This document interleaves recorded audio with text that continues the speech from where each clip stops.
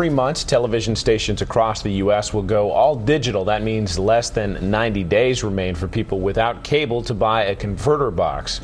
But with all the boxes available, that task can seem overwhelming. We wanted to make it a little easier. So in this 10 News Extra, reporter Allison Morrow gives one family little help making that choice. The antenna. I know, that's what I'm like. Mother of two and 10 News producer Carolyn Lamar is a busy woman, and one item on her long to do list buy a digital TV converter, which turned out to be a little more complicated than she thought. Well, I went to Target actually yesterday, and there were just, there's like four different kinds, and they're kind of priced basically the same within five or ten dollars. And so I was kind of like, why are there so many different ones? To clear up the confusion, we asked our tech expert Dan Thompson to break down DTV converters. Hello, how are you? Good. I'm Dan. We chose four brands to test GE, Apex, RCA, and Insignia. All were readily available in local stores and priced within $10 of each other. One by one, we connected each of them to the same TV set and the same antenna. First up, All right, so what we have here is Insignia's DTV converter box.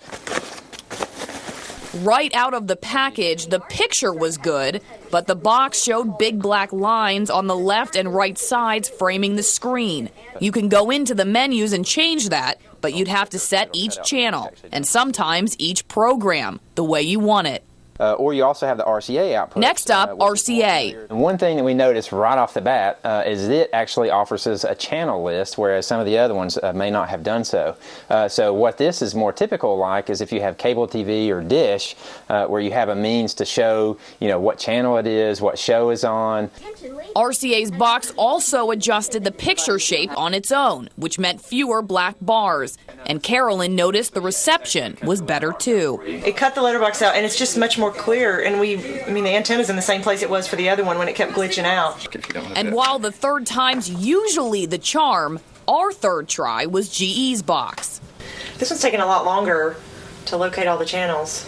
It is actually, and notice it looks like it's going to find one. Yeah, it did. It found one less channel than the other one did. The other one you were getting 11 channels. This one we're only getting 10 channels. In fact, GE's box was the only of the four we tested that came up one channel short. But the critics had no complaint with picture quality. I think the picture quality's just as good as it was on um, the RCA. Now to our fourth and final box. All right, so the last one that we have left is by Apex, uh, and this actually promises to be uh, a really good quality box. No problems with clarity, Knee jerk reaction to the video, though. The video looks uh, just as, as comparable to the other ones. but it also showed the sidebars, and we couldn't find a way to adjust that. Information Carolyn was glad to know. Know, I would have been annoyed by the letterbox chopping it off on the sides, both on the sides and the top. So, of all four choices, she went with the RCA. And with that, Dan said his goodbyes. All right, so I think we got you all fixed up. Fantastic, thank you. I think we're ready for February. All right. And Carolyn said hello to her new DTV box. Allison Morrow, 10 News. While Carolyn says she's gotten fuzzy signals on some channels at her home in the past, the picture was much better with all of the digital boxes.